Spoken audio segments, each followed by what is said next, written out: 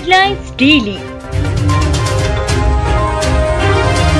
H D news hi मेरा नाम है तुषार पांडे और आप देख रहे हैं एच डी न्यूज़ हाय मैं हूँ दीपिका सिंह और आप देख रहे हैं एच डी न्यूज़ भाई बहन के जीवन में रक्षाबंधन पर्व का खासा महत्व है। यही कारण है कि पूरी दुनिया में भारत भूमि पर रक्षाबंधन का पर्व हर्षोल्लास के साथ मनाया जाता है। जहाँ प्राकृतिक रूप से सामान्य जीवन जीने वाले लोग इसे खुशी के साथ मनाते हैं। वहीं ऐसे लोग जिन्हें सामान्य जीवन जीने में कठिनाई का सामना करना पड़ता है, उन दिव्यांग लोगों के द्वारा भी इस पर्व को उत्साह के साथ मनाया जाए। इसी उद्देश्य को ध्यान में रखते हुए इंदौर के पंचकुइया स्थित युग पुरुष धाम में मानसिक दिव्यांग बच्चों के बीच रक्षाबंधन पर्व का बृहद आयोजन किया गया।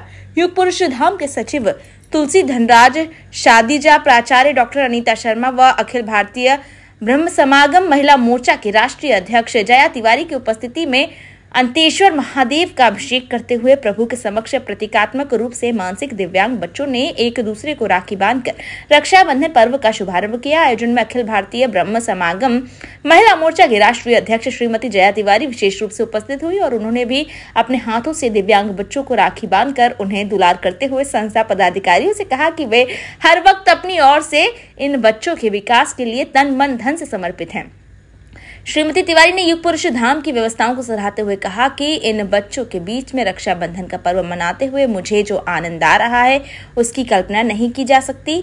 प्राचार्य डॉक्टर अनिता शर्मा ने कहा कि युग पुरुष धाम में सभी तीस त्यौहार बच्चों के बीच उत्साह के साथ मनाए जाते हैं, जिससे उन्हें त्योहारों की जानकारी भी हो सके और वह समाज की मुख्य धारा में सम्मिलित भी रह सके। आज रक्षाबंधन पर्व के दौरान सभी बच्चों को एक दूसरे के सामने बिठाया गया और उन्हें राखी पर्व का महत्व बताते हुए बहनों ने भाइयों को राखी बांधी, उनका मुँह मीठा कराया। वहीं भाइयों ने भी बहनों को उपहार दिया।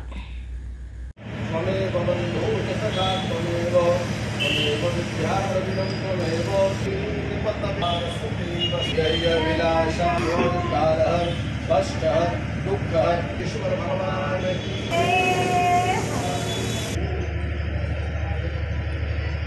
पश्यन्तु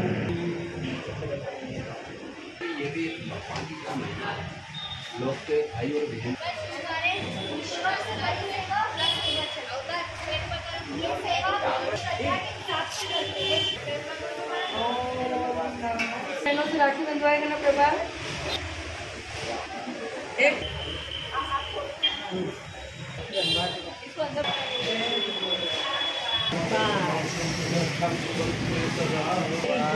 अच्छा आशीर्वाद देना प्रभात भैया को।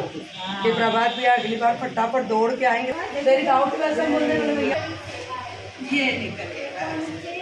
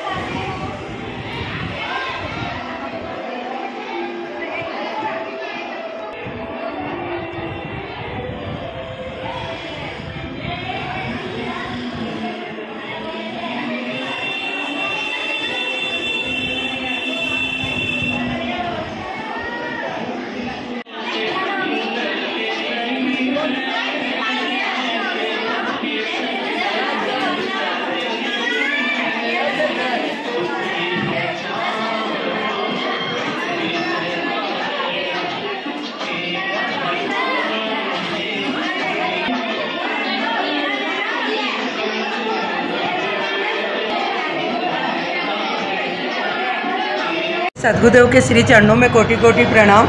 श्री युगपुरुष धाम में चाहे हर ही त्यौहार हम लोग उतनी आत्मीयता से मनाते हैं। चाहे वो होली हो, दिवाली हो, राखी हो, उसी के तहत इस बार राखी का त्यौहार बच्चों ने बड़े धूमधाम से मनाया। सर्वप्रथम हमारे बड़े सर तुलसीधन राज साधीजा जी और सोनम साधीजा जी ने हमारे जो गुरुदेव और अनंतेश्वर भगवान है, उनका हम लोगों ने अभिषेक किया। उनका मंत्रोच्चारण हमारे अजय शास्त्री जी ने किया और मेन उद्देश्य था कि ये बच्चे सुरक्षित रहे। इनका, मैं तो ये कहूँगी 25 साल के करियर में इस राखी का जो त्यौहार होता है कि भाई लोगों की रक्षा करे या बहनों की रक्षा करे तो मैं तो यही प्रार्थना करूँगी भगवान से कि रक्षाबंधन के दिन ये मानसिक दिव्यांग बच्चे स्वस्थ होकर आत्मनिर्भर होकर होने का प्रयास करें। आपके बीच में ब्रह्म समागम महिला मोर्चा की राष्ट्रीय अध्यक्ष जया तिवारी जी भी आई थी। क्या कहना चाहेंगे किस तरह से? आ, ऐसे समाज को इन बच्चों के लिए आगे आना चाहिए। हमारी पहली संस्था है जो किसी प्रकार का दान नहीं लेती है लेकिन श्रम दान महादान हम लोगों ने शुरू किया था। और श्रम दान के तहत आज मैडम आए और इन बच्चों के साथ हाथ लगाकर उन्होंने राखी बंधाई। ऐसे अन्य समाज के लोगों को भी श्रमदान, महादान के तहत जुड़ना चाहिए।